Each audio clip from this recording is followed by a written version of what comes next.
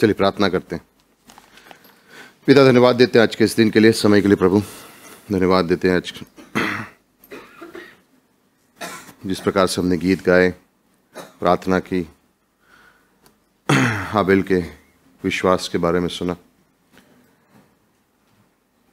धन्यवाद देते कि आज हम जब वचनों में, और वचनों से आपके पवित्र आत्मा की सहायता से सुने तो हमारी सहायता करना प्रभु। हमें हमारी मदद करना प्रभु। आपके वचनों के द्वारा हमारे जीवन में परिवर्तन लाना प्रभु। जिस भी परिस्थिति में हम यहाँ आए हैं, लेकिन हमारा मन पूरा आप पर निर्भर है प्रभु। हमारा जीवन आपके वचनों पर आधारित है प्रभु। धन्यवाद देते हैं कि आपने हमें पवित्र आत्मा दी है प्रभु, जिसकी सहायता से आज हम गहरी बातों को समझ सकते हैं, सीख सकते हैं। धन्यवाद कलीसिया के लिए प्रभु। जहाँ पे आपके लोग उपस्थित हो सकते हैं। आपकी आवाज़ सुन सकते हैं, आपके प्रेम का अनुभव कर सकते हैं। धन्यवाद प्रार्थनाओं के लिए और वादों के लिए, जो हमारे जीवन की आशा है प्रभु। धन्यवाद देते हैं प्रभु। आज के समय को आशीषित कीजिएगा प्रभु। हमारे मनों में आशीषित कीजिएगा प्रभु। हमारी आराधना को और भी उत्तम कीजिएगा प्रभु। हमारे वचनों को, जो हम सुने और सीखे, उसको और भी गहराई से हमारे मनों में जाने देना प्रभु। धन्यवाद देते हैं प्रभु यीशु। सारा आदर, सारी महिमा के आप ही योग्य हो प्रभु।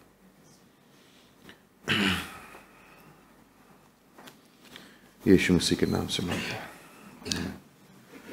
सुबह की सभा में एक कहानी बताई थी एक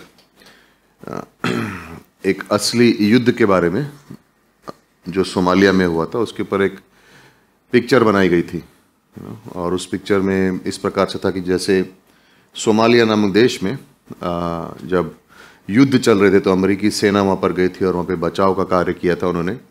लेकिन युद्ध के दौरान उनके हेलीकॉप्टर गिर जाते हैं और उनको बचाने के लिए, सेना की टुकड़ी वापस उनको जाती है बचाने के लिए। जब वो बचाने के लिए जाते हैं और वापस आ रहे होते हैं तो बहुत से लोग घायल हो गए होते हैं। गोलियाँ लगी हुई होती हैं, चोट लगी होती है तो एक गाड़ी रुक जाती है जिसमें सैनिक भरे हुए हैं। और, जो सेने का सूबेदार है, वो एक सैनिक से कहता है, गाड़ी चला। वो कहता है, मैं नहीं चला सकता हूँ, मुझे गोली लगी है, मैं घायल हो गया हूँ। और ये युद्ध के बीच में वो सेना का जो कमांडर है, वो उसको बोलता है, हम सबको गोलियाँ लगी हुई हैं। हम सब घायल हैं। गाड़ी में चल और गाड़ी चला। और जब वो कहानी को हम लोग बात कर रहे थे तो हम लोग सोच रहे थे कि कलिसिया भी इस प्रकार से ही है, कि जब हम उस दरवाजे से आते तो हमारे अंदर भी कुछ चोटें लगी हुई हैं। हम भी अपने मन में सोच रहे हैं, कोई पाप की वजह से घायल है? किसी के जीवन में जो उसने चाहा वो नहीं हुआ, उसकी वजह से घायल है, हर एक के मन में कुछ ना कुछ तकलीफ़ है। और जब हम इस कलिसिया में आते हैं, जब भी हम परमेश्वर की उपस्थिति में आते हैं तो हम भी ये सोचते हैं कि मुझे चोट है, मैं घायल हूँ। लेकिन हम ये भूल जाते हैं कि हम सब उसी परिस्थिति में सब घायल हैं सबको चोटें लगी हुई हैं, सबके जीवन में कुछ ना कुछ परिस्थिति चल रही है। लेकिन इसलिए भी धन्यवाद देते हैं कि यीशु मसीह ने यशा त्रेपन में वो सारे बोझ अपने ऊपर ले लिए और उसको चोट लगी, लेकिन हम चंगाई पाए, है ना? उसके उसको कोड़े पड़े, लेकिन हमें चंगाई मिली है। और उसके लिए हम उसके लिए धन्यवाद देते हैं। और कलीसिया में जब हम आते हैं तो ये हमें जानना ज़रूरी है, हम ये सीखना ज़रूरी है। हमारे संग क्या हो रहा है, वो उतना ज़रूरी नहीं है। लेकिन किस प्रकार से उस परिस्थिति में हम अपना जीवन जी रहे हैं, वो ज़्यादा ज़रूरी है। हमारा रिस्पॉन्स किस तरह से हम किस प्रकार से जीते? जब हमारे जीवन में कुछ घटना घटती है तो हम उसका उत्तर कैसे देते हैं? वो ज़्यादा ज़रूरी है। और वचन के अनुसार विश्वास से हम जीते हैं। और विश्वास हमारे जीवन की नींव है। आज के संदेश हम भजन संहिता 119 के तीन वचनों पर ध्यान देंगे। लेकिन उससे पहले हमको याद है, सबसे लंबा चैप्टर कौन सा बाइबल में? और सबसे छोटा? सबसे छोटा? भजन संहिता 117 है ना? भजन संहिता 117 में कितने वर्ष हैं? दो। तो भजन संहिता 118 दोनों के बीच में आता है करेक्ट 117 119 के बीच में क्या आएगा? करेक्ट हाँ गणित ठीक है। भजन संहिता 118 से पहले अगर आप गिनोगे बाइबल में तो 594 चैप्टर है। पाँच अध्याय हैं। भजन संहिता 118 के बाद पाँच सौ चौरानवे अध्याय और हैं। तो भजन संहिता 118 बाइबल के बीच में आता है। सोलह पंक्ति है, आठवीं पंक्ति। में देखिए क्या लिखा है। भजन संहिता 118 वर्ष नंबर आठ। ये हर विश्वासी के जीवन की नींव होनी चाहिए। बाइबल के बीच में, मध्यस्थ में संदेश क्या है? यहोवा की शरण लेना मनुष्य पे भरोसा रखने से ज़्यादा उत्तम है। यहोवा की शरण लेना मनुष्य पर ज़्यादा भरोसा करने से ज़्यादा बेहतर है। It is better to trust in the lord than to put your trust in man verse number नौ, यहोवा की शरण लेना प्रधानों पर भी भरोसा रखने से उत्तम है। ये प्रधान मतलब अच्छे राजा, अच्छे राजकुमार, अच्छे मंत्री। कलिसिया के जीवन में पासवान। यहोवा की शरण लेना पासवानों पर भरोसा रखने से भी ज़्यादा उत्तम है।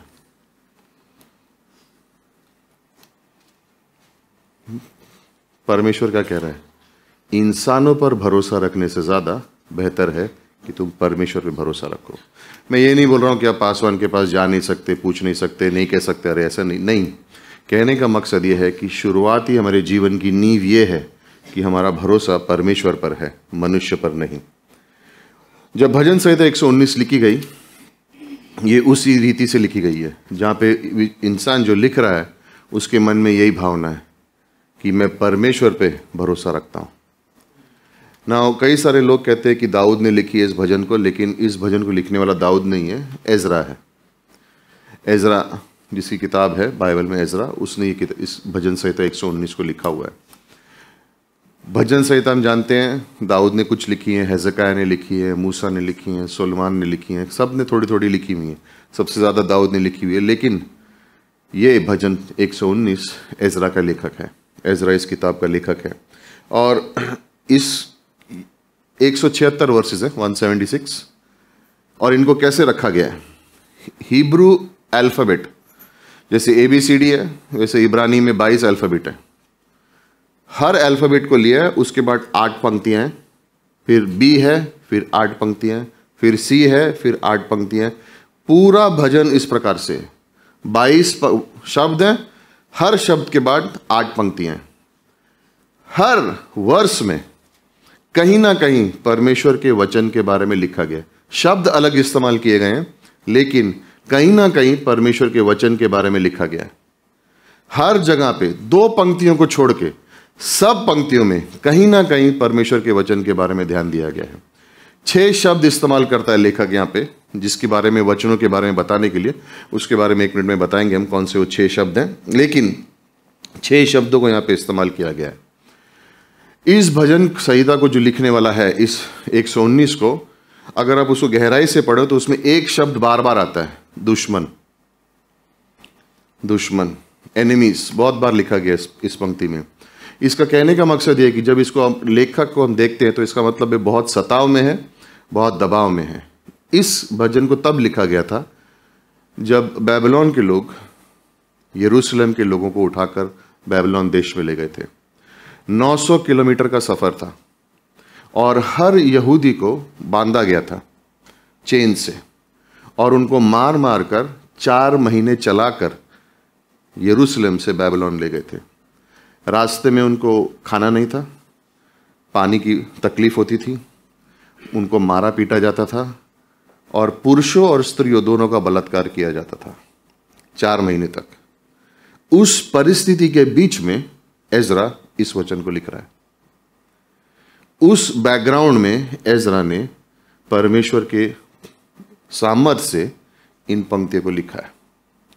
और वो ये देख रहा है कि किस प्रकार से उन पर अन्याय हो रहा है और वो एक ही चीज़ पर ध्यान दे रहा है कि परमेश्वर का वचन ही हमें सही रख सकता है इस परिस्थिति में।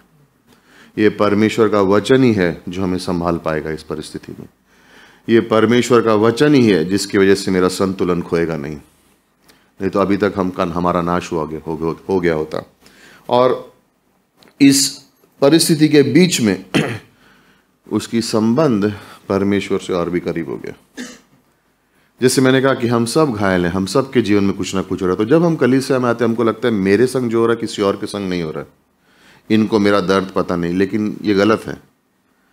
हर एक के जीवन में जिस प्रकार से चल रहा है, वो उनके जीवन के लिए यूनिक है।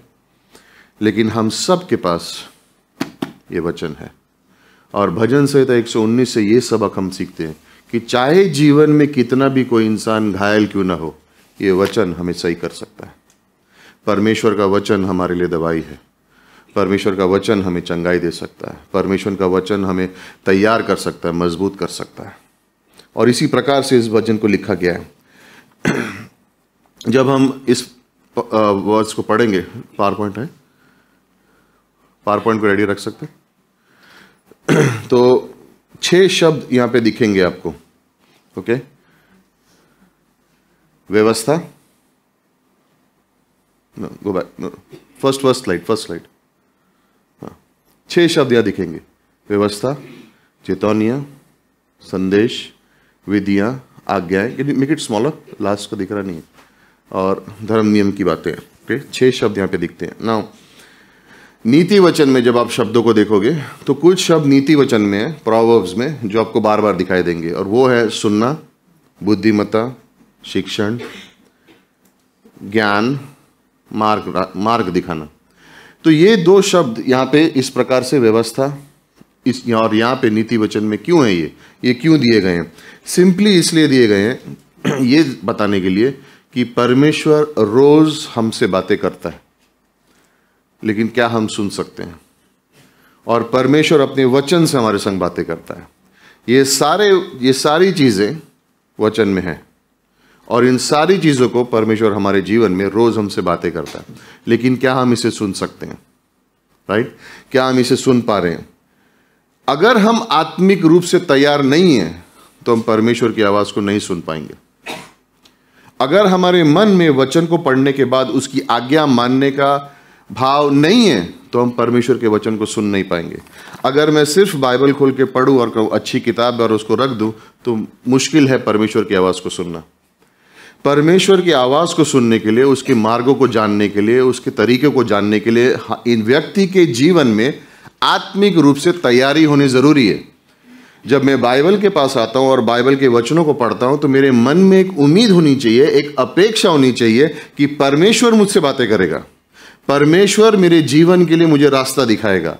परमेश्वर जो मुझे चोट है, उसको उसको ठीक कर सकता है। लेकिन अगर मैं बाइबल के पास आऊँ और इस रीति से आऊँ कि सिर्फ़ मुझे पन्ने पलटने हैं तो परमेश्वर की आवाज़ को हम सुन नहीं पाएँगे। कई सारे विश्वासी आज भी समझ नहीं पाते हैं कि परमेश्वर हमसे कैसे बात करते हैं। इसलिए पूछ दे, क्या परमेश्वर हमसे बोल सकता है? हाँ लेकिन क्या हम तैयार हैं सुनने के लिए? और यही पंक्तियों को देखने के लिए यू नो कि पवित्र आत्मा हर एक को सिखाएगा, जो आज्ञा मानने के लिए तैयार है।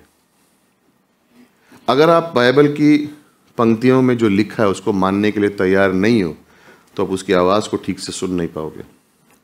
अगर जीवन में कोई छुपा हुआ पाप है और उसके साथ आप जी रहे हो तो आप परमेश्वर की आवाज़ को सुन नहीं पाओगे। अगर आप आत्मिक रूप से तैयार नहीं हो, आप उसकी आवाज़ को सुन नहीं पाओगे। अगर जीवन में इच्छा नहीं है परमेश्वर के कार्य को करने के लिए तो उसकी आवाज़ को सुन नहीं पाओगे। परमेश्वर की आवाज़ को सुनने के लिए सही स्वभाव होना ज़रूरी है। अगर हम आत्मिक, आलसी हैं, आत्मिक रूप से, हम उसकी आवाज़ को सुन नहीं पाएँगे। हर वचन को सुनने के लिए और उस परमेश्वर की आज्ञाओं को जानने के लिए और उसके जीवन में अनुभव करने के लिए हमें मन से इस वचन के पास जाना है।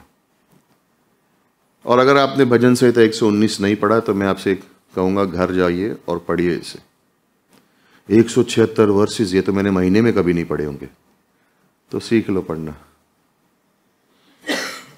तो सीख लो पढ़ना। अगर एजरा जो चार महीने तक चलेगा और उसको खाना नहीं मिल रहा होगा पीटा जा रहा होगा। अगर वो इन शब्दों को लिख सकता है तो आपकी समस्या उसकी समस्या से बड़ी नहीं है। और ये वचन हमारे जीवन में परिवर्तन ला सकते हैं।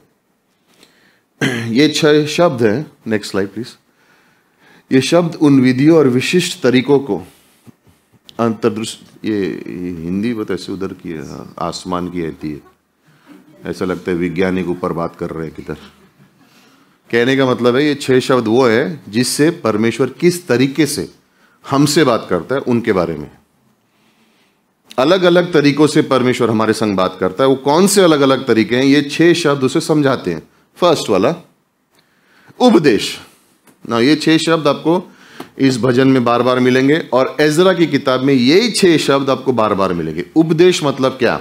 उपदेश यानी पहली पाँच किताबें जो इसराइल को दी गई थी उसको तोरा बोलते थे करेक्ट ये पाँच किताबें इसराइल को दी गई थी कि किस दिशा में जाना है, किस प्रकार से रहना है, किन चीज़ों को करना है, किन चीज़ों को नहीं करना है, ये उनको बता दिया गया था।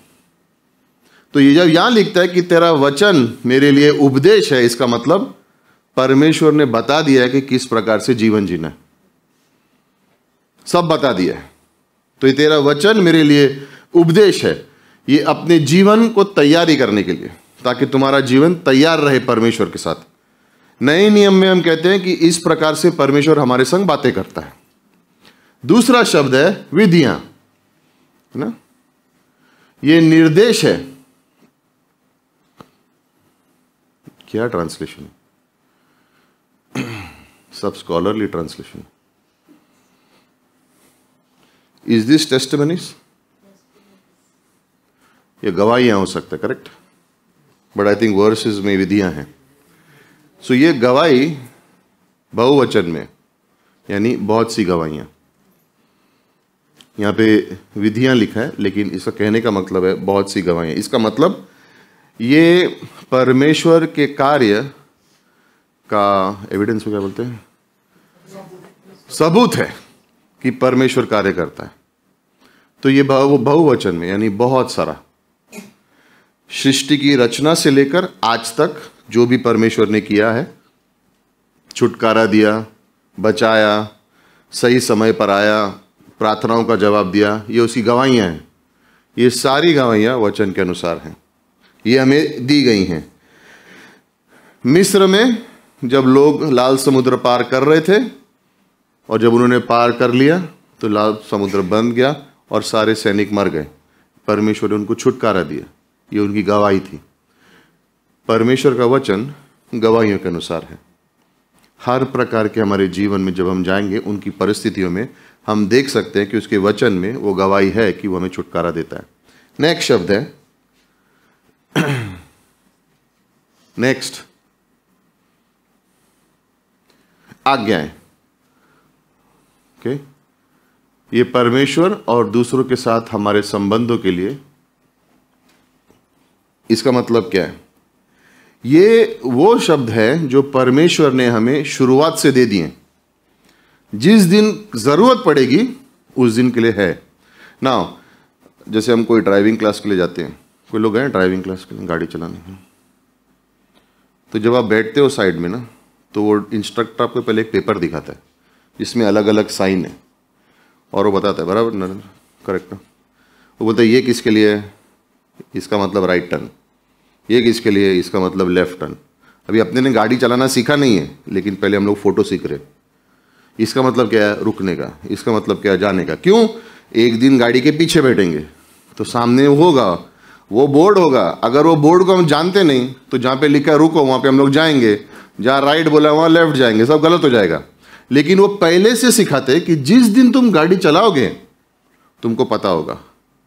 ये वचन पहले से ही परमेश्वर ने तुम्हें दे दिया कि जिस दिन समस्या आएगी, तुमको पता होगा क्या करना है। परमेश्वर का वचन, वो आज्ञाएँ जो तुम्हें पहले से बता दी गई है कि जिस दिन ज़रूरत पड़ी, तुम्हें उस दिन पता होगा क्या करने के लिए। नेक्स्ट वर्स इस्तेमाल किया है। उदाहरण। नहीं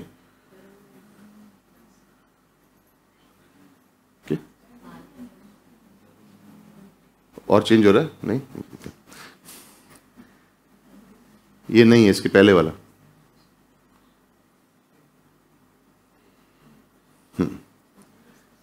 नेक्स्ट आज्ञाएँ, उदाहरण। बस स्टॉप कर ओके नाउ ये उदाहरण क्या है? इसका मतलब थोड़ा अलग है। ये व्यक्तिगत। अच्छा आप लोग कभी कोई डॉक्टर पे गया आप में से कोई कभी डॉक्टर के पास गया? कभी उसने पर्ची दी ये दवाई जाके ले लो। हाँ? जैसे दिए दवाई लिख के अच्छा आपने अगर वो पर्ची ली, दवाई जाके ली और फिर रात में बोला, ए, ये तेरे लिए है। ऐसा किया कभी?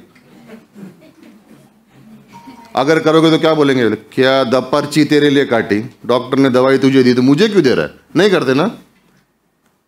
इसका मतलब उदाहरण। परमेश्वर ने एक व्यक्तिगत शब्द या पंक्ति आपके लिए दी है, जो दवाई के अनुसार है, जब आपको उसकी ज़रूरत पड़ेगी। ये सिर्फ़ आपके लिए है।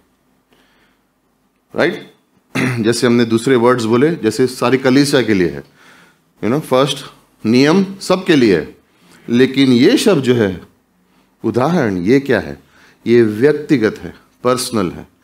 जब आपको कोई प्रॉब्लम होगी तो वो ही वचन एक दवाई की तरह आपके जीवन में आपके लिए काम करेगा। उसका मतलब यह है, परमेश्वर ने आपकी जो भी परिस्थिति है, उसके लिए दवाई की पर्ची काट के रखी हुई है। इसलिए भजन संहिता एक सौ आठ में लिखा है, इंसानों से ज़्यादा परमेश्वर पर भरोसा करना ज़रूरी है। नेक्स्ट शब्द जो इस्तेमाल किया गया है, वो है धर्म नियम। ओके? ये सत्य से संबंधित है, परमेश्वर के आदर्शों के ऊपर ओके? ना इसका मतलब क्या है? कि परमेश्वर ने एक वादा दे दिया अब सेना का अधिकारी है, वो अपने जूनियर से बोलेगा, ये काम करना है। तो वो जूनियर उसको नहीं बोल सकते, नहीं करूँगा। उसका कोर्ट मार्शल हो जाएगा, उसको करना पड़ेगा। परमेश्वर ने ये वचन हमें दिया है, और जो वो कहता है, वो हमें करना है। अगर हम नहीं करें, तकलीफ़ हमको है, उसको नहीं। ये पांचवा शब्द है। छठा शब्द जो इस्तेमाल किया है, वो एक्चुअली उदाहरण नहीं है। बंद कर दो इसको, बंद कर दो। वो है न्याय। छठा शब्द जो है, वो है न्याय। इसका कहने का मतलब है, जो परमेश्वर ने कहा है, वो होगा।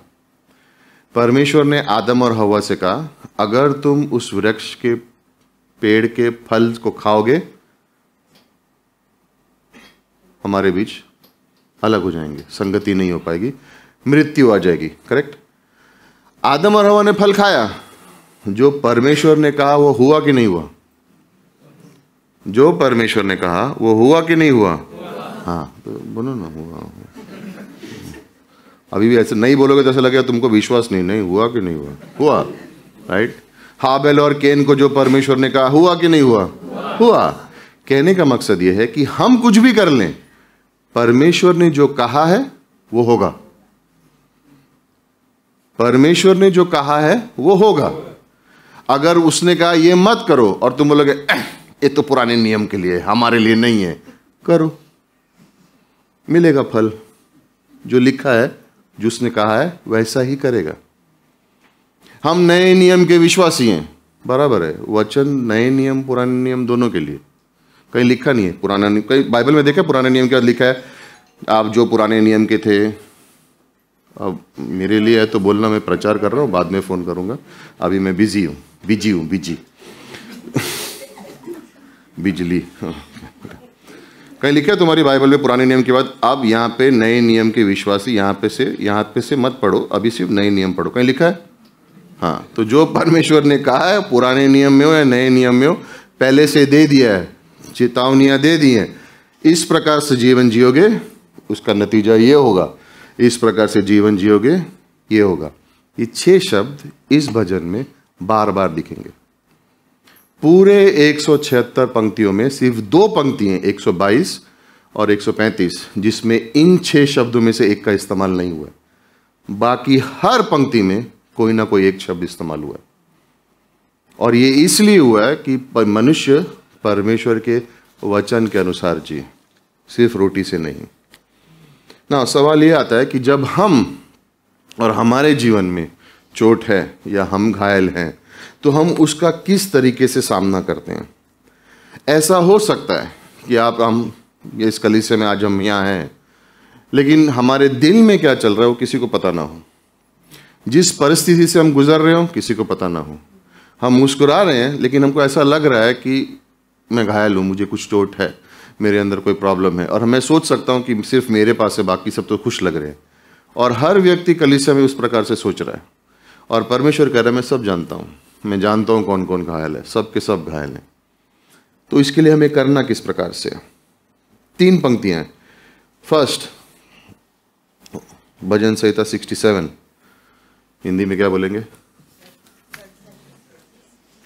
सर हाँ करेक्ट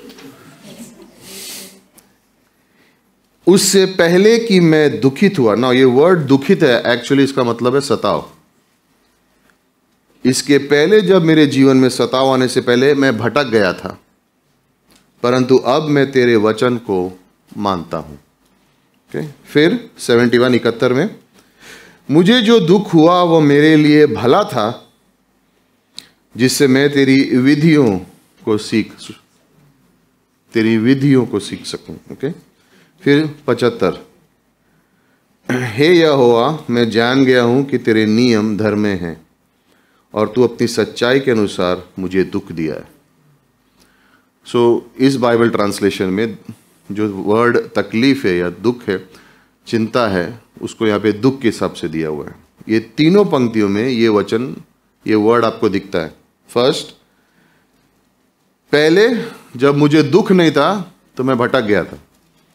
दूसरा, ये अच्छा हुआ कि आपने मुझे दुख दिया। अब आप ये वर्ष को जब हम लोग पढ़ते हम लोग सोचते, ये बाइबल में वर्ष नहीं होता तो अच्छा होता था। है ना? सर नहीं होता था तो अच्छा होता था। ये क्या लिख रहा है? आपने मुझे दुख दिया तो भला है। अच्छा हुआ आपने दिया मुझे प्रॉब्लम। और 75 में लिखता है, मैं एक्चुअली इस प्रकार से अंग्रेज़ी में है, तू विश्वास योग्य है, इसलिए तूने मुझे दुख दिए। मैं तुझ पर भरोसा करता हूँ। जब मुझे दुख नहीं थे तो मैं भटक गया था। अच्छा हुआ तूने मुझे दुख दिए और क्योंकि तू विश्वास योग्य है, इसलिए तूने मुझे दुख दिए। एजरा, इस कठिन समय में दुख के बारे में ये तीन चीज़ें लिख रहा है। जब दुख नहीं थे तो मैं भटक रहा था। जब तूने दिए तो मैं तेरा भला मानता हूँ। और क्योंकि तूने दिए तू विश्वास योग्य है इसलिए दिए। ये दुख शब्द यहाँ पे जो है इसका कहने का मकसद ये है जहाँ पर हमें सताव आता है हमारा विद्रोह होता है और हमें नीचा किया जाता है। सताव आता है आ, हमें नीचा किया जाता है हमें दुख लोग हमारे विरुद्ध हो जाते हैं। उसका मतलब यहाँ पर है। जैसे अयुब का जीवन में दुख सबके जीवन में। अयुब के जीवन में दुख है, लेकिन उसको पता ही नहीं क्यों है। पौलुस के जीवन में काटा है, चौदह वर्ष से जो उसको तताव दे रहा है। कई बार परमेश्वर अनुमति देता है इन दुखों को आने के लिए, और कई बार हमारी मूर्खता की वजह से वो दुख हमारे जीवन में आते हैं। दाऊद के जीवन में उसके परिवार में चार लोग मरेंगे, क्योंकि उसने बादशीबा के संग वह विचार किया। उसकी मूर्खता थी, इसलिए उसके जीवन में दुख आया। परमेश्वर ने अनुमति नहीं दी थी। परमेश्वर ने क्या कहा था? अगर तू इस प्रकार से जिएगा तो उसका नतीजा तेरे जीवन में आएगा। उसने बेविचार किया, उसको उसका फल भुगतना पड़ा। कई बार हमारी बेवकूफ़ियों की वजह से हमारे जीवन में तकलीफ़ें या दुख आएँगे।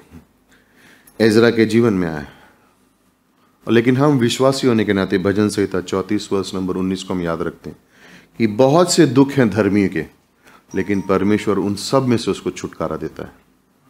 परमेश्वर उन सब में से उसको छुटकारा देता है। तो अगली थोड़ी देर के लिए जब हम इन तीन पंक्तियों के बारे में बात करेंगे, हमें ये याद रखना है कि जो भी सोच, दुख, तकलीफ़ आप अगर आप यहाँ लेके आए हो, उसको थोड़ी देर के लिए साइड में कर दो। और सिर्फ़ वचन पे, परमेश्वर के ऊपर, उसके वचन पर और विश्वास पर ध्यान देना। कई बार हम सोचते हैं, ये चर्च जो भी है, ये हमारे बारे में। नहीं, कलिसिया परमेश्वर के बारे में है। आराधना हमारे बारे में नहीं है। आराधना परमेश्वर के बारे में। उसी प्रकार से हमारे दुख हमारे बारे में नहीं है, परमेश्वर के बारे में। हमें लगता है, दुख हमारे हैं, दुख हमारे नहीं दुख परमेश्वर के लिए। वो दे, उसने अगर अगर अनुमति दी है तो यहाँ भजन संहिता का लेखक कह रहा है, ये भला है कि तूने मुझे दिया यू you नो पहले पंक्ति, वर्ष नंबर सिक्सटी सेवन इसके पहले कि मैं दुख, इसके पहले कि मैं दुखित हुआ, मैं भटकता था, परंतु अब मैं तेरे वचनों को मानता हूँ। ना यहाँ पे जब वर्ड भटकता दिया, इसका मतलब नहीं कि वो विश्वास जो व्यक्ति है वो पाप में जी रहा उसको कहने का मकसद ये है, जीवन में सब सही चल रहा है। नौकरी सही है, घर में सब सही है पैसे ठीक हैं, ब्याज कोई भरना नहीं पड़ रहा है, उधारी कोई है नहीं, सब कुछ दे दिया है, मुक्ति है, मज़ा आ रहा है, काम सही चल रहा है, घर सही चल रहा है, पति सही है, पत्नी सही है, बच्चे सही है अच्छा जीवन है।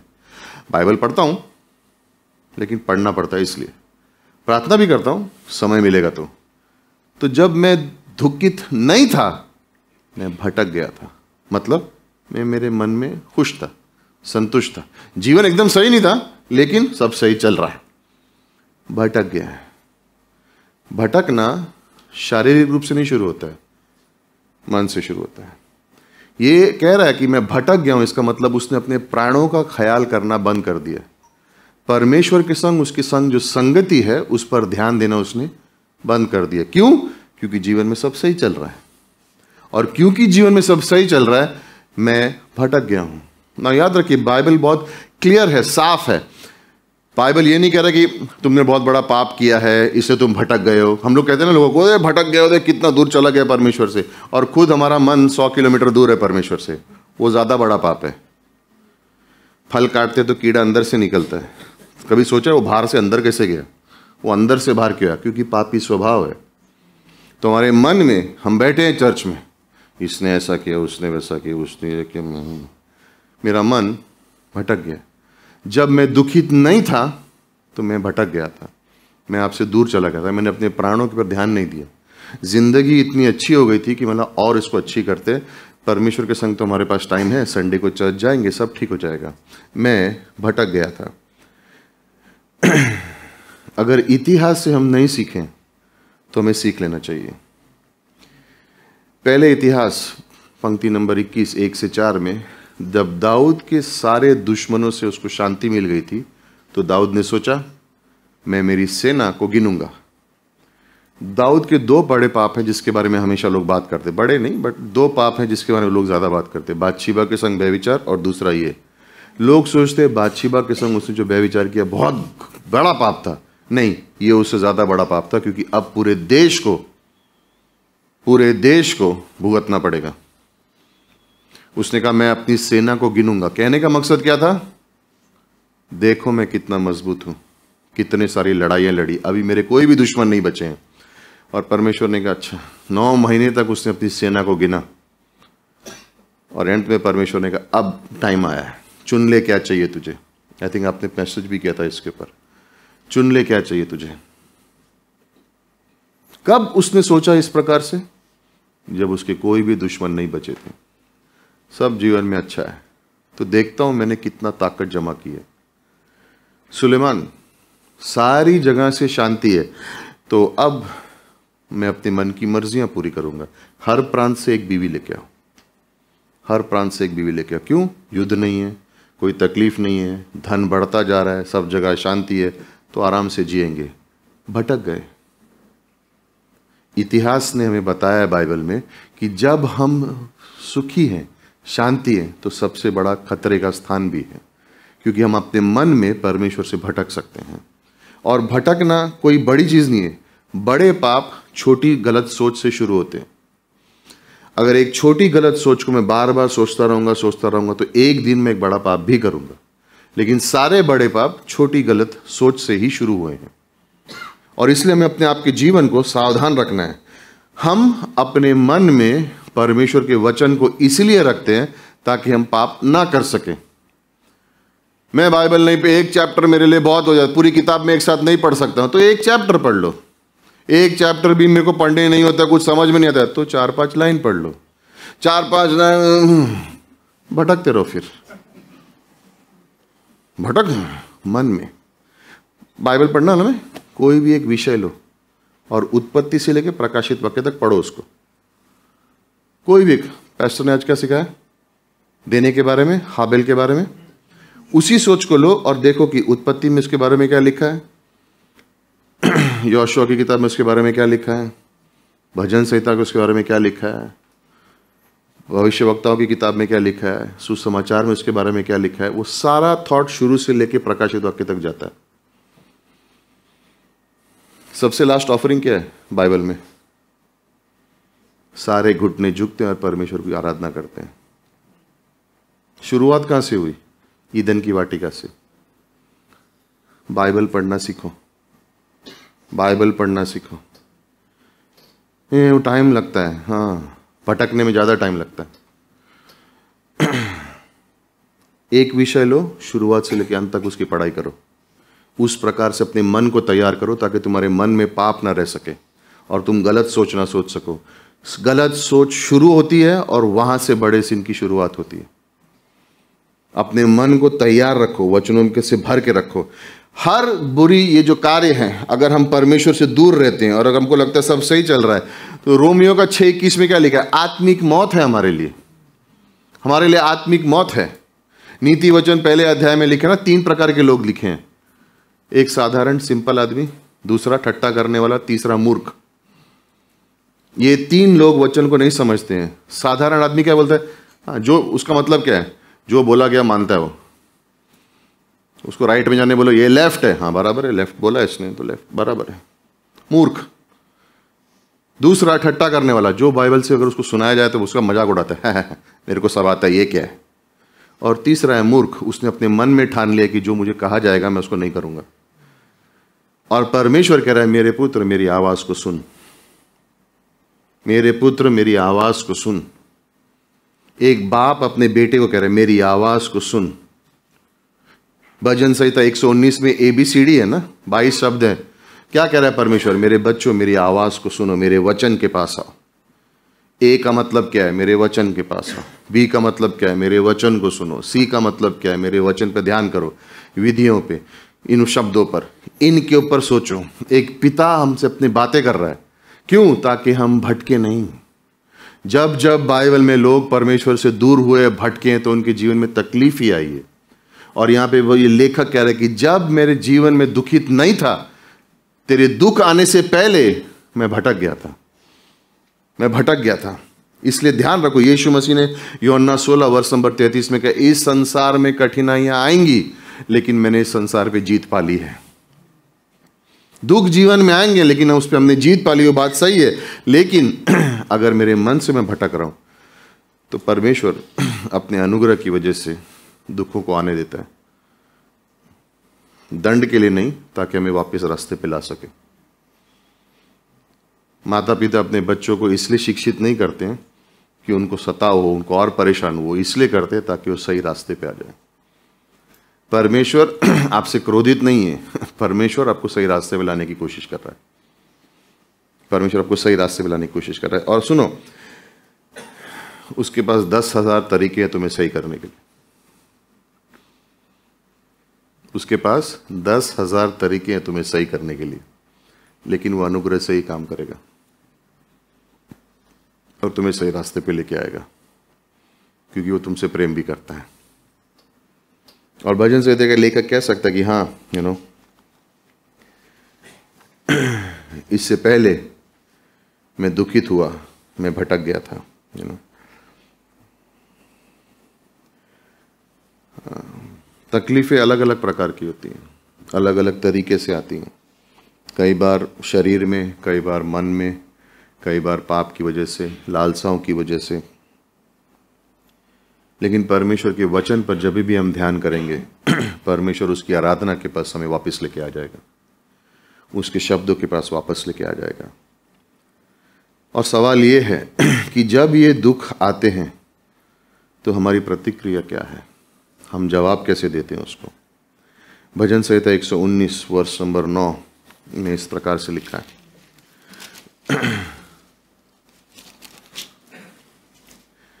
जवान अपनी चाल को किस उपाय से शुद्ध रखे? तेरे वचन के अनुसार सावधान रहने से। राइट तेरे वचन के अनुसार सावधान रहने से। एक व्यक्ति अपने मच अपने रास्तों को, अपने मन को किस प्रकार से शुद्ध रख सकता है? वचनों के द्वारा। योहन्ना पंद्रह, वर्ष नंबर तीन में यीशु मसीह कहते हैं, अब तुम शुद्ध हो उस वचन के द्वारा जो मैंने तुमसे कहा है। तो यीशु मसीह ने भी हमें शुद्ध किस प्रकार से किया वचन के अनुसार। और कैसा है एक युवक जो अपने आप को शुद्ध रख सके? उसके वचन के अनुसार। उसके वचन के अनुसार। बस नंबर ग्यारह, भजन संहिता एक सौ उन्नीस को, मैंने तेरे वचन को अपने हृदय में छुपा रखा है कि मैं तेरे विरुद्ध पाप ना कर सकूँ। कितने लोग पाप से लड़ने की कोशिश करते हैं ना? मेरे को पाप नहीं करना नहीं करना है, लेकिन उसका उपाय क्या है? उसके वचन को अपने मन में छुपा के रखना है। मेरी बाइबल ही छुपी हुई है, मुझे पता ही नहीं मेरी बाइबल का मैंने छुपा के रख दिया तो इसलिए मैं पाप में जीता हूँ। पाप, बाइबल मत छुपाओ, वचनों को अपने हृदय में छुपाओ। वर्ष नंबर ग्यारह में एकदम क्लियर है। नौ में मैं अपनी चाल को किस प्रकार से शुद्ध रख सकूँ? वर्ष नंबर ग्यारह में मैंने वचन को अपने मन में छुपा के रखा हुआ है इस प्रकार से। और वर्ष नंबर दस में देखिए, मैं पूरे मन से तेरे खोज में लगा रहूँगा, मुझे तेरी आज्ञाओं की बाट से भटकना ना देना। वो इंतज़ार कर रहा है। क्यों लिख रहा है ये? क्योंकि वो जानता है। वो जानता है कि परमेश्वर के वचन में ही सामर्थ है। परमेश्वर के वचन में ही छुटकारा देने का सामर्थ है। परमेश्वर का वचन ही मुझे पाप से बचा सकता है। परमेश्वर का वचन ही मुझे लालसाओं से बचा सकता है। परमेश्वर का वचन ही शैतान के कार्यों से मुझे सामर दे सकता है। यीशु मसीह ने हमें सिखाया है नए नियम में। जब भी शैतान उसके पास आया और उससे बातचीत करने की कोशिश की, यीशु मसीह ने कहा, लिखा है लिखा है और लिखा है। और शैतान उसको छोड़कर चला गया। और यीशु मसीह ये दिखा रहे थे हमें कि तुम जो भी तुम्हारे जीवन में परिस्थिति आए, वचन के अंदर वो सामर्थ्य है कि उससे तुम जीत सकते हो। वचन के अंदर वो सामर्थ्य है जिसे तुम जीत सकते हो। मेरे जीवन में सबसे ज़्यादा ज़रूरी मेरा रिश्ता परमेश्वर के वचन के संग क्या है? ताकि इस वचन के द्वारा अपना जीवन शुद्ध रख सकूँ, परिवार को संभाल सकूँ घर वालों को संभाल सकूँ। बाकी का बाद में सोचेंगे। हम लोग इस प्रकार से सोचना है कि यह वचन मेरे जीवन में सबसे ज़्यादा ज़रूरी है। इस वचन के संग मेरा संबंध क्या है? क्या मैं परमेश्वर को उसके वचनों के अनुसार जानता हूँ या किसी के कहने से अनुसार जानता हूँ? और यहाँ पे भजन संहिता का लेखक कह रहा है, मुझे पाप नहीं करना है तो मैं कैसे कर नहीं करूँ? अगर मैं तेरे वचनों में बना रहा तो। मुझे तेरे नज़दीक आना है, तेरे वचनों के द्वारा ही नज़दीक आ सकता हूँ। मुझे भटकना नहीं है, तेरे वचनों में बना रहूँगा तो भटकूँगा नहीं। तो किस प्रकार से अपने जीवन को हम शुद्ध रख सकते किस प्रकार से हम भटक नहीं सकते? अगर इस वचन को अपने दिल में बसा के रखे तो। फ़र्स्ट गाना क्या गाया था आज हम लोग ने? दिल में बसा लिया तुझको। अच्छा लगता है। उसको नहीं बसाओ, वचन को बसाओ। यीशु मेरे दिल में है, मैं सब सही है। नहीं है। अगर वचन तुम्हारे दिल में नहीं है तो जब कठिनाई आएगी, सामने तुम उसका लड़ नहीं पाओगे। गाना गा के छुटकारा नहीं मिलने वाला है। वचनों से सामना करना पड़ेगा अगर गाना गा के छुटकारा था तो मती चार में यीशु मसीह भी गाना गाते थे। लेकिन उन्होंने कहा, लिखा है। लिखा है। किस प्रकार से एक व्यक्ति अपने मन को और जीवन को शुद्ध रख सकता है? तेरे वचन के अनुसार। मैं बाइबल खोलता हूँ, लेकिन कुछ समझ नहीं आता है। तो पहला कोरंतियन दूसरा अध्याय, वर्ष नंबर चौदह तुम्हारे लिए। स्वाभाविक मनुष्य बाइबल को नहीं समझ सकता है। पच्चीस साल से चर्च में, लेकिन ये बाइबल समझ नहीं आती मुझे। क्योंकि तुम्हारा नज़रिया इंसान का नज़रिया है। पवित्र आत्मा पे कभी निर्भर नहीं हुए। प्रार्थना कभी की नहीं तो समझ भी आएगा नहीं। जो व्यक्ति परमेश्वर के वचन की आज्ञा मानने के लिए तैयार है, परमेश्वर उसे खुले खुले सिखाएगा। जिसको आज्ञा नहीं माननी है और इंटरेस्ट नहीं है परमेश्वर ज़ोर ज़बरदस्ती नहीं करेगा।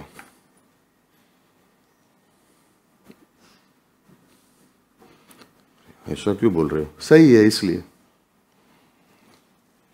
ये बाइबल उठा के चर्च जाने को ना शर्म आती है।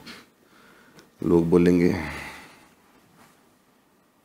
जो परमेश्वर ने ये तुम्हें जीवन के लिए दिया है, अगर तुम इसको पढ़ने के लिए, खोलने के लिए और उठाने के लिए शर्म आते हो तो क्या विश्वासी जीवन जियोगे, पता नहीं।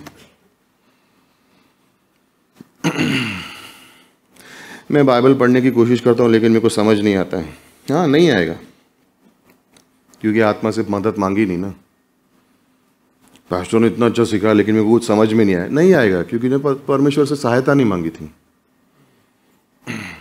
सोचा मैं जाऊँगा, क्लास में बैठूँगा, सब अपने आप हो जाएगा। नहीं होगा। मन से विचार करना। खुद हाँ बोलना पड़ेगा। तो सीख पाओगे। प्रार्थना करना है। कितने लोग यहाँ पे हैं कि जब जीवन में आपके कुछ प्रॉब्लम आई, दुख आई बाइबल खोलने से पहले आपने किसी इंसान से बात की? या किसी को फ़ोन किया? ये प्रॉब्लम है, क्या करूँ? कितने लोग हैं यहाँ पे? सबके हाथ उठेंगे, मालूम है मुझे। इसलिए कोई उठा रहा नहीं है। एक को छोड़ के थैंक यू हुआ कभी?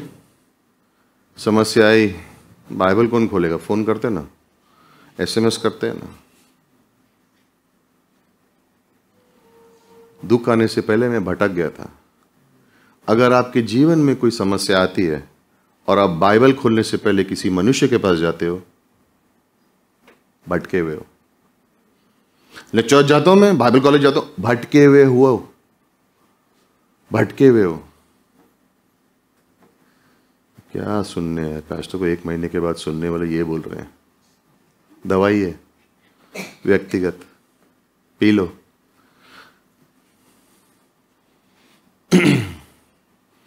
ये वचन रास्ता दिखाने के लिए दिया कठिनाई आने से पहले। ये वचन दवाई के अनुसार दिया गया जब बीमारी हो तो चुपचाप ले लो। ये वचन बताया गया जैसा कहा है वैसा होगा। ये वचन परमेश्वर ने अधिकार से दिया है। सुनना पड़ेगा। क्यों? ये परमेश्वर के बारे में। हमारा जीवन हमारे बारे में नहीं है। हमारा जीवन परमेश्वर के बारे में है। ये कलिसिया परमेश्वर के बारे में है। ये आराधना परमेश्वर के बारे में है। बाइबल कॉलेज परमेश्वर के बारे में है। दुख भी परमेश्वर के बारे में है, क्योंकि सहायता भी वही करेगा। इसलिए भजन संहिता एक सौ अट्ठारह आठ, मनुष्य में सहायता मत मांगो, पहले परमेश्वर के पास जाओ। पहले परमेश्वर के पास जाओ यू you नो लोग पूछते हैं, परमेश्वर क्या मुझसे आज बात कर सकता है? उसके पास तुम्हारा नंबर है। वो करेगा फ़ोन डोंट वरी परमेश्वर फ़ोन करेगा, उसके पास तुम्हारा नंबर है। वो तुम्हारा तक पहुँच सकता है यू you नो know? दूसरे बात, वर्ष नंबर सेवेंटी वन। इकहत्तर। करेक्ट है? इकहत्तर, सेवेंटी वन। थैंक यू मुझे जो दुख हुए, वो मेरे लिए भले हैं। अच्छा हुआ हुआ मेरे जीवन में। अभी कोई ऐसा बोलता है यहाँ पे? मैं मैं तो नहीं बोलता। एजरा बोल रहा है। मैंने नहीं बोला कभी ऐसे बाइबल में कोई वर्ष पढ़ा ऐसा लगा कि ये नहीं होता तो अच्छा होता था। क्यों डाला ये वर्ष बाइबल में? मुझे जो दुख हुए, वो मेरे लिए भला है कि हुए, जिससे मैं तेरी विधियों को सीख सकूँ। वर्ड विधि याद है क्या? डॉक्टर की दवाई। वो वर्ड है वहाँ पे, विधि है। अच्छा हुआ मेरे जीवन में बुराई, बुरा हुआ। क्यों? डॉक्टर की प्रिस्क्रिप्शन आ गई। सही दवाई ले सकता हूँ अभी मैं। एजरा ने पूरे देश को बदल दिया, ये वचन सुना के। जब वो लोग बंदवाई से वापस आए, सत्तर साल के बाद तो एजरा ने पूरे देश को वचन सिखाया। एक दिन में छह घंटा।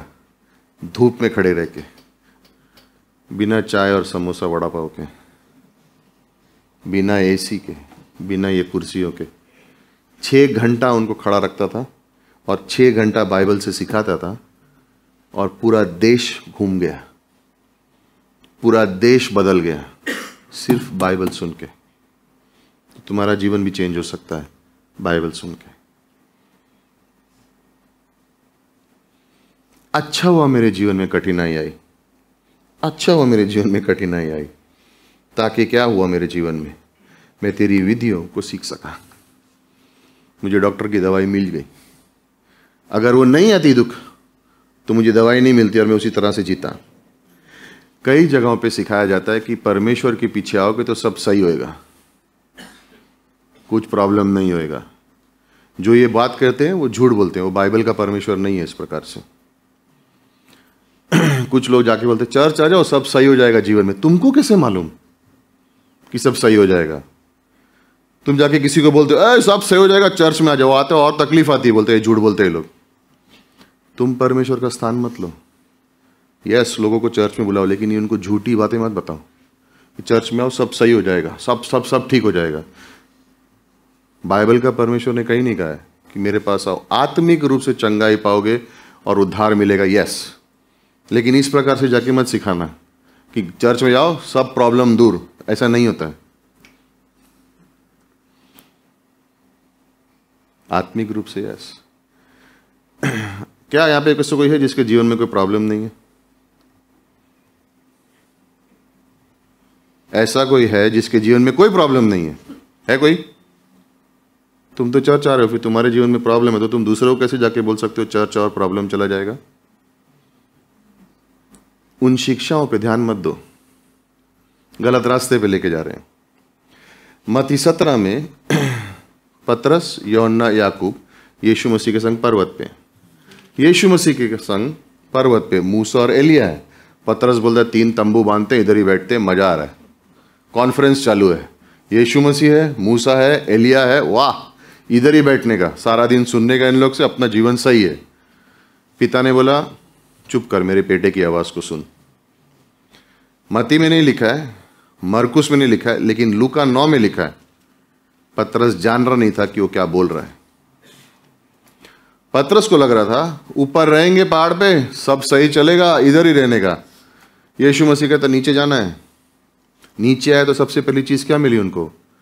दुष्ट आत्माओं से पीड़ित लड़का। हमारे जीवन में अच्छे समय होते हैं। लेकिन फिर आसान की रोज की ज़िंदगी भी है। हम कली से आते हैं, उत्साहित होते हैं, प्रोत्साहित होते हैं, वचन को सुनते हैं, तैयार होते हैं और फिर मंडे को काम पे जाते हैं। और वही रोज का शुरू हो जाता है। लेकिन ये हमारा जीवन है और यहाँ पर परमेश्वर हमें क्या देता है? उसकी विधियाँ सिखाता है। ताकि जब हम संसार में जाएँगे तो हमें पता है कि हमें संसार का सामना किस प्रकार से करना है। और इस वचन के अनुसार परमेश्वर हमें सिखाता है, क्या? ये विधियाँ। और इसलिए यहाँ पर एजरा लिख रहा है अच्छा हुआ मेरे संग दुख आया मैं तेरी विधियों को सीख पाया। अच्छा हुआ, मुझे तो पता ही नहीं था मेरे अंदर ये बीमारी है, लेकिन जब आया ये प्रॉब्लम, मेरी बीमारी पता चली, लेकिन तूने दवाई देके रखी थी मुझे, इसलिए मैं ठीक हो गया। इसलिए कह रहा, भला है कि ये दुख मेरे जीवन में आए। मैंने शुरुआत में कहा था, दुख आना प्रॉब्लम नहीं है। दुख का सामना कैसे करते वो ज़्यादा ज़रूरी है। और उसका सामना एक ही तरीके से कर सकते हैं, विश्वास से। परमेश्वर पे भरोसा करते हुए, परमेश्वर पे भरोसा करते हुए। ये मेरे जीवन में नहीं हुआ, वो मेरे जीवन में नहीं हो रहा, इस प्रकार से चल रहा है, ठीक है? कई बार परमेश्वर कह रहा है, ये ये ये ये तरीके से इस्तेमाल करो। विश्वास से मेरे पास आओ, विश्वास से मेरे पास आओ। और ये हमारे जीवन की परिस्थिति है यू नो अगर आपके जीवन के लिए कोई निर्णय लेना है और आप चुनाव करते हो और परमेश्वर चुनाव करता है, किसका सही रहेगा? Right right? आपके जीवन में एक समस्या आती है। मैं फिर से बोलता हूँ ओके आपके मन में आइडिया आता है, इस प्रकार से करना चाहिए, परमेश्वर के मन में आता है, ये प्रकार से करना चाहिए। कौन सा राइट है? करता, इस्तेमाल कौन सा करते हैं हम लोग? मालूम सब है, लेकिन करते अपनी मर्ज़ी का है। इसलिए दुख आते हैं, क्योंकि मैं भटका हुआ हूँ। और ऐजरा कह रहा है अच्छा हुआ मैं भटका। अच्छा हुआ कि ये दुख आए अब मैं समझ सकता हूँ। अब तेरा वचन मुझे सिखाता है। जब हम परमेश्वर को हर परिस्थिति में डालेंगे ना तो हमें समझ में आएगा कि वो हमारे जीवन से क्या चाहता है। कई बार हमारे जीवन की तकलीफों में हम परमेश्वर को अनुमति नहीं देते आने के लिए। और हम सोचते हैं, हम संभाल सकते हैं। कभी भी सफल नहीं होगे। भजन संहिता 46 वर्ष नंबर 10 कोई जानता है? भजन संहिता 46 वर्ष नंबर 10 ऑफ़ कोर्स हिंदी में क्या लिखा है? चुप रहो और आ रहा है ऊपर? आए आ गया? क्या लिखा है? धूप है बहुत, समझ नहीं आ रहा इधर भी धूप है, उधर भी धूप है। ऐसा लग रहा है दो चाँद इधर है, दो चाँद उधर है, कुछ समझ हाँ क्या लिखा है? चुप हो जाओ। क्या लिखा है? तो चुप हो जाओ ना, दो मिनट। नहीं। चुप हो जाओ और कि मैं मतलब मैं नहीं। मैं और अच्छा एक साथ सब पढ़ेंगे। रेडी उधर से धन्यवाद। ओके रेडी उसने बोला चुप रहने के लिए, मैं कुछ नहीं बोलूँगा। ना ओके चलो साथ में पढ़ेंगे। स्टार्ट करो।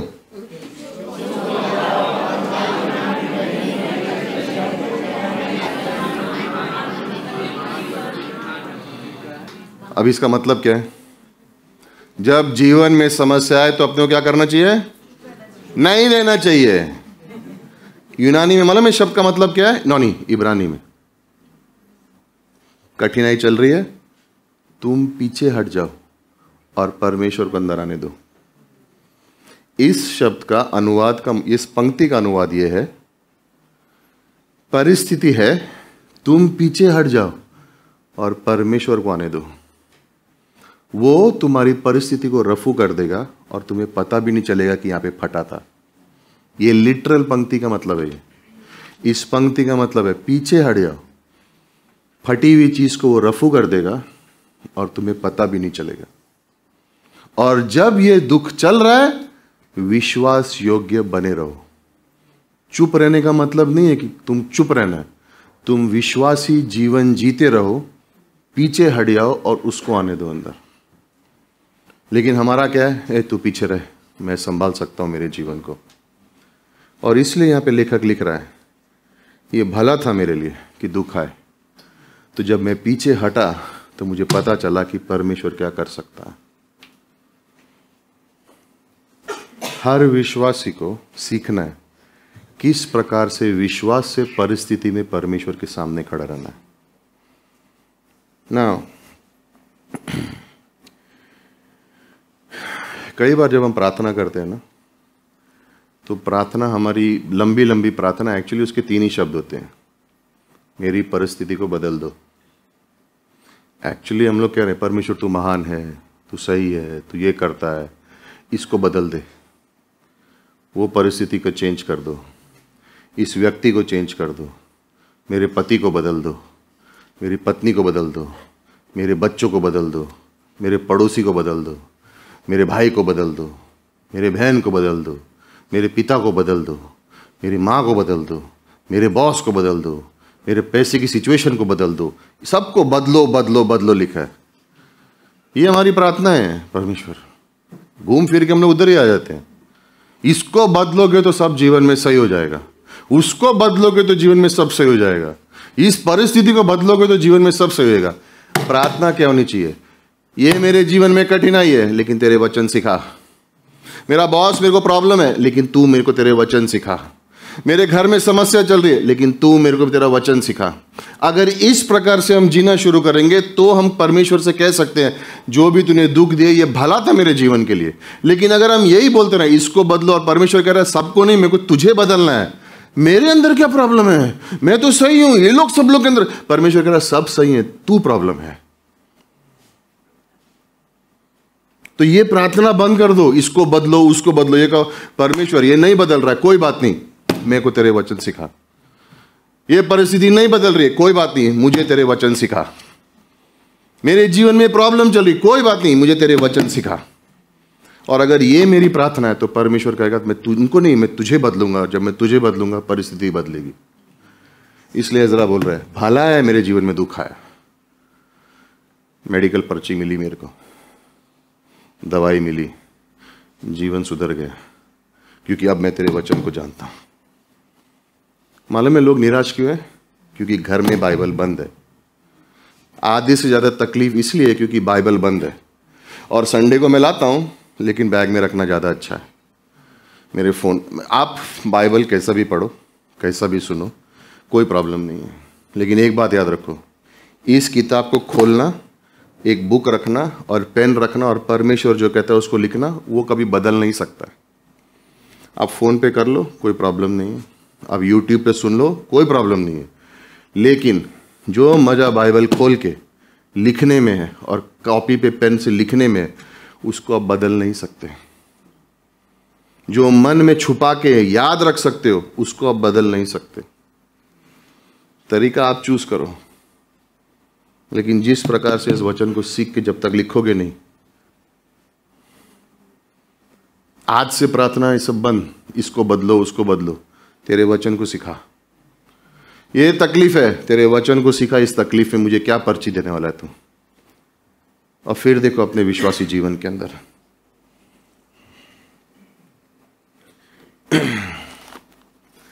मैं आज सुबह रैप सेशन में बोल रहा था। डॉक्टर शामिल है ना, जिनके घर में इस कलिसिया की शुरुआत हुई। पैंतालीस वर्ष से विश्वासी है। कितने साल से? ये पैदा भी नहीं हुई थी। इसकी मम्मी डैडी की शादी भी नहीं हुई थी। तब से चल रहा उधर। मतलब मैं, मेरी भी शादी नहीं हुई थी, उसके तब से मैं वहाँ पे था। बाइबल कॉलेज का सेमेस्टर आएगा। पैंतालीस वर्ष के बाद भी आज भी वो क्लास लेती है।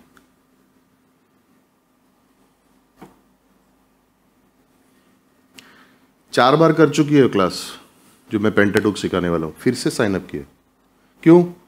इस बार परमेश्वर कुछ नया सिखाएगा मुझे। सात बजे उनका क्लिनिक खुलता है। तो वो ये नहीं बोलती कि डाउनलोड करूँगी, कल देखूँगी। पेशेंट आया तो भी क्लास वीडियो पे चालू है। पेशेंट नहीं आया तो बैठ के क्लास देखती रहती है और बीच में कमेंट भी मारती रहती है। कितने वर्षों के विश्वासियों के? पैंतालीस। सारे बाइबल कॉलेज की क्लासेस दो बार कर चुकी हैं। आज भी साइन अप करती हैं। क्यों? दवा है। खुद डॉक्टर है? दवा का एहसास का मालूम है कितना फ़ायदा होता है। ये वचन मेरे लिए है। और कुछ लोग बोल रहे हैं, मैं काम पे से साढ़े छः आता हूँ, थक जाता हूँ। कैसे करूँ क्लास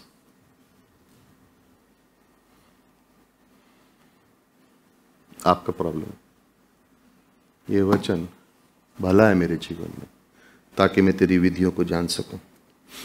पचहत्तर, हे यहोवा, मैं जान गया हूँ कि तेरे नियम धर्म ही हैं। कहने का मकसद यह है, भजन संहिता का लेखक लिख रहा है, तू विश्वास योग्य है परमेश्वर, और तूने अपनी सच्चाई के अनुसार मुझे दुख दिया। तेरी विश्वास योग्यता की वजह से तूने मुझे दुख दिया। धन्यवाद तेरा। तीन परिस्थितियाँ हैं। वर्ष नंबर पहले में, अब मैं तेरे वचन को मानता हूँ, यानी अब मैं आज्ञा पालन करता हूँ। सेकेंड में, भला है, दुख आए मतलब अब मुझे भरोसा है। और तीसरा है, तेरी विश्वास योग्यता, मुझे तूने दुख दिए, अब मैं तेरी महिमा करता हूँ। आज्ञा मानता हूँ, विश्वास करता हूँ, लेकिन अब मैं तेरी महिमा करता हूँ। परमेश्वर हम सबके जीवन से चाहता है कि हम उसकी महिमा करें। हम उसकी आराधना करें। हम उसके जीवन में, अपने जीवन में उसको सबसे नंबर एक स्थान पर रखें। कभी वो क्रिश्चियन बुक स्टोर में देखा ऐसे फ़ोटो है? और रेत रेत पे पाँव के निशान ने देखा कभी वो फ़ोटो? परमेश्वर की विश्वास योग्यता के बारे में। उसके पीछे कहानी मालूम है ना? कि परमेश्वर, हम साथ साथ में चल रहे थे। दो पैर के निशान यहाँ है, एक जोड़ी यहाँ है। लेकिन जब मेरे जीवन में कठिनाई आई तो आप कहाँ चले गए? क्योंकि एक ही जोड़ी निशान पैर के निशान दिख रहे हैं। और परमेश्वर उस व्यक्ति से कह रहा है, उस वक्त मैंने तुझे उठा लिया था। तू अकेला नहीं था। विश्वास ही सोच रहा है, मैं अकेला हूँ। परमेश्वर कह रहा है, उस वक्त जब कठिनाई आई तो मैंने तुझे गोद में उठा लिया था। लेखक यही कह रहा है, तेरी विश्वास योग्यता की वजह से तूने मुझे दुख दिए। क्योंकि जब वो दुख आए, तूने मुझे गोद में ले लिया। मैं अकेला नहीं था। हाँ मैं तेरे वचनों को मानता हूँ। हाँ तेरे वचनों पे भरोसा करता हूँ, लेकिन धन्यवाद तेरे लिए। मैं तेरी महिमा करता हूँ। क्योंकि जब दुख आए तो मैं अकेला नहीं था, तूने मुझे गोद में उठा लिया था। तूने मुझे गोद में उठा लिया था। और इसलिए हम वचनों को जानते हैं कि परमेश्वर सही है, तकलीफ़ें होती हैं, लेकिन वो हमसे बातें करता है। खुद को बदलने की कोशिश मत करो। अपने आप को परमेश्वर को समर्पण करने की कोशिश करो। पवित्रीकरण जब हम विश्वास करते हैं, परमेश्वर हमें शुद्ध देखता है, लेकिन जीवन में पवित्रीकरण करने के लिए हमें कार्य मतलब को, मेहनत करने को, अपने आप को परमेश्वर के हाथों में देना है। और वहीं पे हमारा जीवन बदलता है। ये सब कुछ इस वचन के द्वारा होगा। बिना वचन के कुछ नहीं कर पाएँगे। अंत में 25 पॉइंट। पाँच छोटी चीज़ें याद रखने के लिए। फ़र्स्ट हर समय परमेश्वर को धन्यवाद देना सीखो। ओके हर समय परमेश्वर को धन्यवाद देना सीखो। इंग्लिश में गाना है count your blessings name them one by one and you will see what the lord has done है ना? तो काउंट योर ब्लेसिंग मतलब अपनी आशीषों को गिनो, तकलीफों को नहीं। लोगों को अपनी तकलीफें याद रखने की आदत है, अपने दुख याद रखने की आदत है। ये नहीं हुआ, वो नहीं हुआ, ये नहीं हुआ धन्यवाद देना सीखो। पहले थसलोनी पाँच अठारह में, बुधवार की सभा में उसके बारे में बात हुई। परमेश्वर को धन्यवाद देना सीखो। हर परिस्थिति के लिए नहीं, हर परिस्थिति में। अगर दुख में हो तो उसको धन्यवाद दो कि इसमें हूँ, ताकि मैं उसको जान सकूँ। तो फिर आप अपनी दुख के ऊपर ध्यान नहीं दोगे, आप परमेश्वर पर ध्यान दोगे। और जब परमेश्वर पर ध्यान दोगे तो उसको धन्यवाद देना आसान है। और बाय द वे अगर हम उनमें से हैं जो सिर्फ़ दुखों के बारे में बोलते हैं तो दुख को भी गिनना शुरू करोगे ना, थोड़ी देर में उस स्थान पे आ जाओगे जहाँ पे परमेश्वर को धन्यवाद दोगे। एक चीज़ हमेशा याद रखना, जब भी भी परेशानी आई, दुख लगे, परिस्थिति लगे, ये दस उंगलियाँ हैं, गिनना शुरू करो, धन्यवाद परमेश्वर, कोई एक चीज़ के लिए, या अपने मन में, फिर बोलो, धन्यवाद परमेश्वर इसके लिए, धन्यवाद परमेश्वर के लिए। ये पाँच जब तक होंगी ना सारे दुख भूल जाओगे और उसको धन्यवाद देना शुरू करोगे। साधारण है। विश्वासी जीवन कठिन नहीं है। साधारण है। एकदम आसान है। हमने सीखा नहीं है खाली। और अगर सीखा है तो उसको बहुत जल्दी क्या है? वर्ष सिक्सटी सेवन हो गया है। दुख आने से पहले हम भटक गए थे। अपने मन में थे हम लोग। जब दुख आए, गिनना शुरू कर दो। धन्यवाद धन्यवाद धन्यवाद। पाँच तक पहुंचोगे, सारी उदासी निकल जाएगी जीवन की। तकलीफों तकलीफों को मत गिनो। उसके आशीषों को गिनो। दूसरी चीज़, परमेश्वर की गवाहियों को अपने जीवन में भूलना मत।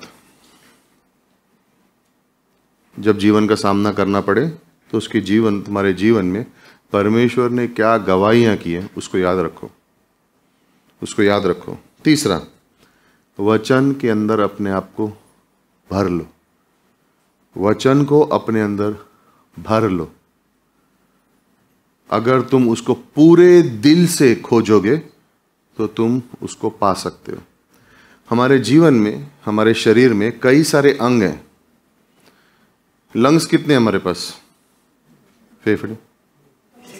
एक निकालो तो जी सकते हो। पेट को आधा काट दो। आजकल करते ना, मोटे लोग पतले होने के लिए, आधा पेट काट दिया तो कम खाएँगे। राइट? जी सकते हैं। किडनीज है ना, एक निकल गई, एक है, जी सकते दिल को आधा करो, जी पाओगे?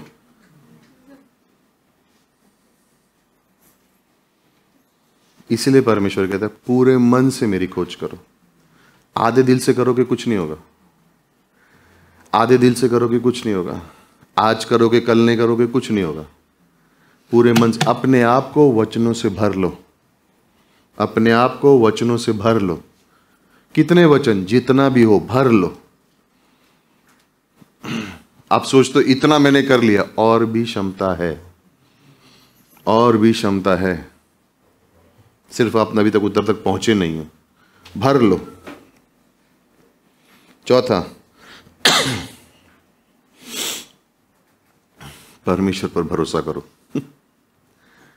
ये तो मालूम है तो करो ना। मालूम है तो करो। यहाँ पर ज्ञान और अनुभव का ज्ञान, बहुत फ़र्क है। परमेश्वर में मुझे भरोसा करना चाहिए, लेकिन मैं करता नहीं हूँ तो फ़ायदा क्या? मुझे ज्ञान है कि मुझे भरोसा करना चाहिए, लेकिन जब परिस्थिति आती है तो मैं नहीं करता हूँ भरोसा। मैं अपने मन की मर्ज़ी करता हूँ, कुछ नहीं होगा। सीखना भी ज़रूरी है और उसको अपने जीवन में लागू करना भी ज़रूरी है। परमेश्वर पे भरोसा करो। बिना भरोसा करे कुछ नहीं कर पाओगे। लास्ट में, जब परमेश्वर जीवन में कुछ कार्य करे तो दूसरों के संग बांटो। जब परमेश्वर आपके जीवन में कुछ कार्य करे, दूसरों के संग बांटो। याद है, अपने विश्वास को बढ़ाने का सबसे अच्छा तरीका है कि परमेश्वर की गवाहियाँ जो तुम्हारे जीवन में हुई है, किसी और के संग बांटो। जब अपनी गवाहियों को किसी और के संग बांटोगे, तुम्हारा विश्वास बढ़ेगा। जब अपने जीवन में परमेश्वर ने जो कार्य किया किसी और के संग बांटोगे तो तुम्हारा विश्वास बढ़ेगा। और इसी पाँच तरीके छोटी सिंपल सी चीज़ें हैं। परमेश्वर को धन्यवाद देना सीखो, उसके कार्य को, गवाहियों को याद रखो, अपने आप को वचन से भर लो, भरोसा करो परमेश्वर पर और उसकी गवाहियों को बांटो दूसरों के संग। आइए प्रार्थना करें। धन्यवाद देते हैं परमेश्वर।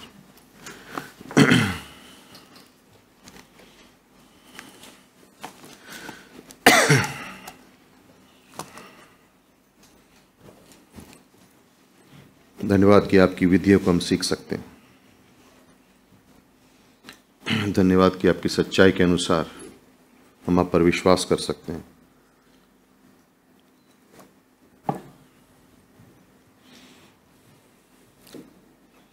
प्रार्थना करते हैं प्रभु, कि अपने विचारों में हम भटके नहीं, लेकिन तेरी वचन की ओर आए। प्रार्थना करते हैं हमें वो क्षमता देना कि हम अपने आप को वचन से भर सकें। और हमारा जीवन उन वचनों के आधार पर चल सके। धन्यवाद देते हैं प्रभु, कि आपने हमें वो क्षमता दी है। धन्यवाद कि आपने हमें बाइबल दी है प्रभु। आपका वचन हमारे लिए। एक अद्भुत प्रेम देना इन वचनों के लिए प्रभु। एक अद्भुत प्रेम देना वचनों के लिए। शायद मेरे पास वो प्रेम नहीं था, लेकिन मुझे आज वो प्रेम देना प्रभु। शायद मेरे पास वो इच्छा नहीं थी, लेकिन आज मेरे जीवन में वो इच्छा देना वचनों के लिए प्रभु। शायद मेरे जीवन में वो भूख नहीं थी, लेकिन मुझे वो भूख देना वचनों के लिए प्रभु। शायद मेरे जीवन में वो चाहत नहीं थी वचनों के लिए, लेकिन आज मुझे वो चाहत देना वचनों के लिए प्रभु। मुझे चाहिए ये वचन। मुझे और चाहिए ये वचन। मुझे भरना अपने वचनों से, प्रभु। यही अगर आपकी प्रार्थना है तो मन से परमेश्वर से मांगो। परमेश्वर, इस वचनों से मुझे भर। इस वचनों से मुझे परिवर्तन कर। इस वचन की भूख दे। इस वचन के लिए प्रेम दे। इस बाइबल के लिए चाहत दे। मांगते हैं तुझसे परमेश्वर। मांगते हैं तुझसे परमेश्वर। ये वचन हमारे लिए मार्ग है। ये वचन हमारे मार्ग के लिए ज्योति है। ये वचन हमको शुद्ध रखता है। ये वचन हमें पापों से दूर रखता है। ये वचन हमें भटकने से दूर रखता है। ये वचन हमारे जीवन के लिए दवा है। हमें हमें इस वचनों से भरना प्रभु। हमें इस वचनों से भरना। हमें इन वचनों से भरना प्रभु।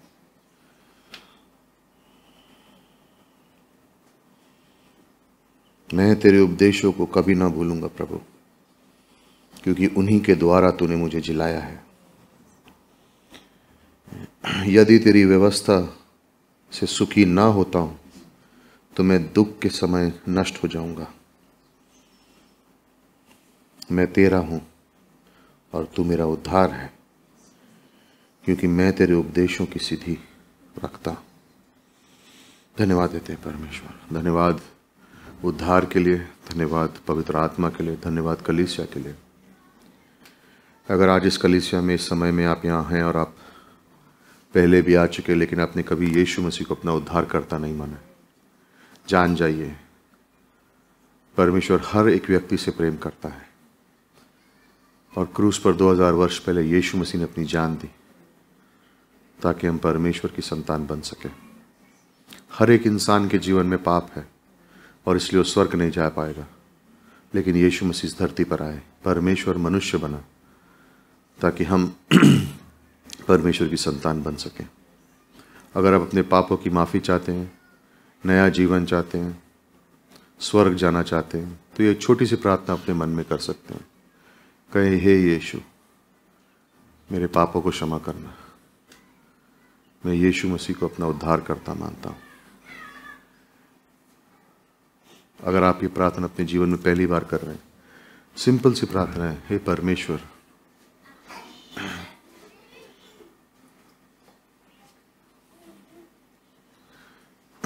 ये छोटी सी प्रार्थना अपने मन में कर सकते हैं, हे परमेश्वर, मैं पापी हूँ। धन्यवाद यीशु, आप इस धरती पर आए। मेरे जीवन में मेरे पापों के लिए अपनी जान दी। आपके लहू से अपने मेरे सारे पाप धो दिए। मैं आप पे भरोसा करता हूँ। या मैं आप पे भरोसा करती हूँ।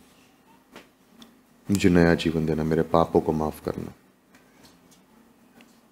अगर ये प्रार्थना अपने जीवन में पहली बार की है, यीशु मसीह पर विश्वास करते हुए, उसको अपना उद्धार करता मानते हुए तो जान जाइए, परमेश्वर आपके पापों को माफ़ करता और आपका लिसा समाध खत्म होने के बाद आप हमसे मिल सकते हैं।